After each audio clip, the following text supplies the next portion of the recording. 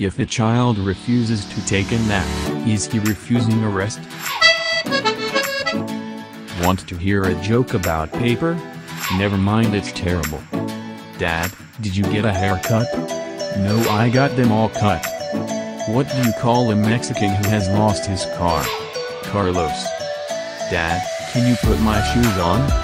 No, I don't think they'll fit me. Why did the Scarecrow win an award? Because he was outstanding in his field. What do you call an elephant that doesn't matter? An elephant? The shovel was a groundbreaking invention. What do you call a fat psychic? A fortune teller. To the man in the wheelchair that stole my camouflage jacket. You can hide but you can't run. A furniture store keeps calling me.